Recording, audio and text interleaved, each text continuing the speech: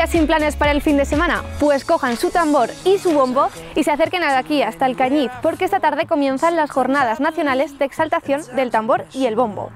Entre los actos más destacados está el desfile que comenzará a las 11 de la noche desde Avenida Aragón y llegará hasta la Plaza de España. Mañana será una jornada de muchas inauguraciones, pero sobre todo destacan el acto del pregón, que será en la Iglesia Mayor a las 12 del mediodía, y el acto de exaltación, que será a las 7 de la tarde en la Plaza de España. También en Cantavieja se inaugura una exposición de tiempos convulsos en el maestrazgo y por su parte Caspe realizará un taller de canto coral.